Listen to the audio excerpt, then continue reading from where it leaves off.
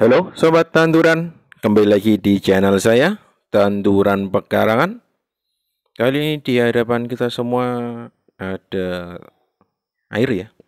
Air ini merupakan air hujan yang sudah lama saya endapkan. Kalau kita kembali lagi di meja ini, berarti ini saatnya saya memberikan sebuah tutorial lagi ya karena ini merupakan meja saya membuatkan video tutorial pasti di sekitar sini. Air ini saya endapkan sudah cukup lama dan di dalam dirigen ya. Nah gara-garanya ini. Saya itu sudah menyiapkan telur ya. Saya akan membuat apa kalau sudah ada telur itu pasti sudah ada gambarannya telur ini sudah lama. Kok saya bilang sudah lama? Karena ini kan saya ambil dari ayam kampung ya untuk anakan yang sisanya ini ini sudah menetas dan sudah cukup besar ya untuk ayamnya. Jadi ini sudah cukup lama. Sebelumnya saya itu pengen membuat sudah cukup lama ya tetapi kan kondisi saya karena tidak ada tidak ada waktu ya. Dan lalu kita butuhkan lagi ini micin ya. Ini pas ya telurnya ada tiga micinnya ada tiga. Jadi saya tidak perlu men menakarnya ya satu bungkus ini harganya cukup murah 200 rupiah. Ya kenapa kok saya buat? Nah ini ada sendok. Sendoknya kotor ya nanti coba saya bersihkan dulu. Saya tidak lihat ya tadi ketika menggunakan terus langsung plastik karet gelang spidol untuk memberikan tanda ya. Dan ini air hujan yang tadi saya sebutkan. Kenapa kok saya buatkan baru sekarang? Karena ini ya gara-garanya saya tadi pulang telur ini tuh dihancurkan oleh ayam ya telurnya ini. Ya coba langsung saja kita eksekusi ya. Telur ini sudah dihancurkan oleh ayam. Mungkin ayam mau bertelur kembali tetapi tidak pada tempatnya ya.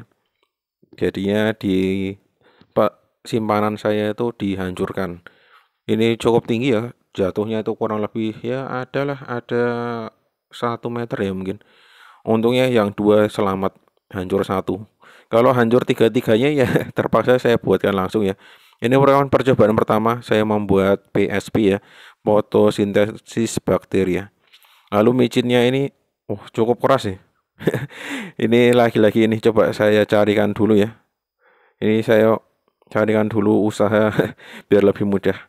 Nah ini ya, saya ambilkan gunting, langsung saja potong Nah, kalau pakai gunting ini kan mudah ya mau menyobeknya. Tadi mau pakai tenaga dalam ternyata tenaga dalamnya kurang ya. Karena ini sudah mulai puasa saya membuat videonya.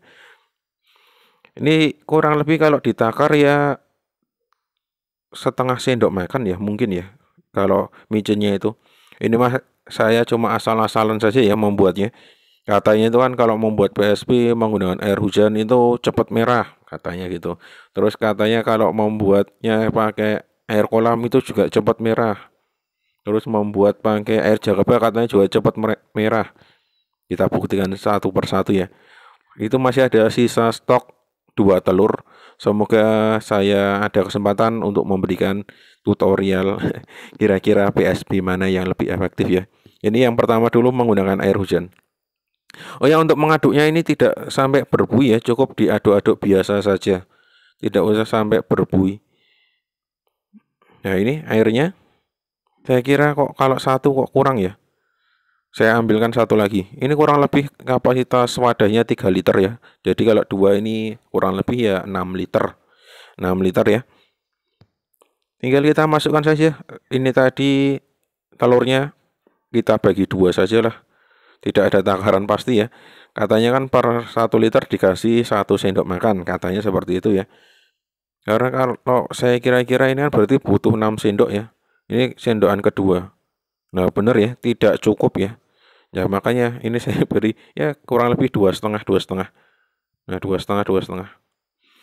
Udah tinggal jangan lupa kita bersihkan ya sisa-sisa dari telur. Bagi sobat-sobat tanduran yang alergi, yang takut dengan bau amis, saya sarankan tidak usah membuat ya. Silakan beli saja biang PSP yang sudah pasti jadi. Walaupun ya nanti buatnya sama saja ya, menggunakan telur kembali. Tapi ini bau amisnya sangat luar biasa ya. Kalau buat saya pribadi, saya memang tidak terlalu suka bau amis yang cukup menyengat. Dan ini pun di luar pikiran saya ya. Saya kira itu tidak ada bau seperti ini. Ya kurang tahu ya nanti kalau sudah jadi merah itu akan bau atau tidak. Ya kita lihat saja lah, kita lihat saja. Nanti kira-kira hasilnya seperti apa. Ini jadi saja bisa merupakan sebuah keberuntungan ya. Kalau nggak jadi ya saya juga tidak tahu. Yang penting kita coba-coba saja. Yang jelas ini percobaan pertama ya, saya buatkan percobaan pertama. Lalu saya ambilkan plastik ini kapasitas 2 liter ya. Kenapa kok saya gunakan 2 liter? Ya saya adanya itu. Ya saya itu memang orang yang tidak modal ya, tidak modal sama sekali. Tadi kalau ditanya kenapa kok pakai telur ayam kampung? Lah kebetulan ayam kampungnya bertelur kok ya ya diambil saja ya. Memang betul-betul saya itu memang tidak modal sama sekali. ya mau buat apa kita bertani secara organik kok malah kita mengeluarkan modal yang cukup banyak. Ya mendingan beli saja pupuk yang sudah dibuatkan oleh pabrik ya yang kira-kira harganya akan sama saja. Kalau dibilang organik sama sintetis ya, wah itu perdebatan yang cukup panjang. Yang penting kalau saya prinsipnya sih selagi ada gratisan kenapa harus membayar. Nah ini adanya seperti itu ya sudah. Nah ini kalau sudah kita ikat dengan karet gelang yang tadi ya. Ini sepertinya saya agak kesusahan ya. Dan lagi-lagi ini di luar pikiran saya. Ternyata itu kalau kita mengikat sesuatu, kok sesuatu, mengikat air ya, air dalam plastik yang semakin besar itu semakin susah. nah kayak ini langsung saja saya potong videonya. Nah inilah jadi sudah selesai saya ikat. Tinggal ini kurang lebih ya mungkin nanti dapat empat empat itu ya empat plastik. Coba ini saya persingkat saja. Sudah saya ikat semua. Hasilnya seperti ini ya. Ada empat plastik isinya tidak sama banyak karena kan saya membaginya ya tadi rumus kira-kira ya tidak ada rumus baku di dalam pikiran saya. nah, ini setelah saya selesai mengikat, saya ini agak kecewa ya. Tadi itu panasnya cukup terik sekali. Setelah saya mengikat malah mendung seperti itu. Aduh, duh, duh, duh. Jadi bingung kan ini mau dijemur di mana? Katanya kan harus dijemur selama satu bulan di terik matahari. Katanya seperti itu. Ya, coba sambil saya pikirkan dulu ya kira-kira akan seperti apa. Lalu ini masih ada sisanya ya telur dua dan micinnya juga dua pas ini nanti kita buatkan percobaan dari yang salah satu yang sudah saya sebutkan di awal tadi ya air jakaba air kolam air ikan ya air bekas ikan ikan hidup ya lalu sama air biasa. Kira-kira lebih cepat yang mana? Sekarang tanggal berapa ya ini? Ini hari Rabu kalau tidak salah. Hari Rabu berarti tanggal 11 atau 13 ya? Saya kok tidak tahu. Yang jelas itulah. Ini tidak saya berikan tanggal ya. Cuma saya berikan coretan satu karena rencana kan saya akan melakukan beberapa percobaan lagi ya. Ini percobaan yang pertama. Nanti kira kita akan bandingkan ya kira-kira hasilnya seperti apa antara percobaan pertama, kedua, ketiga dan keempat dan seterusnya seterusnya kalau ada lagi nanti kira-kira seperti apa sama halnya ketika saya memberikan percobaan pada air Jakabaya Nah inilah saya sudah menemukan tempat yang cukup ideal ya. Ini ada di lantai dua.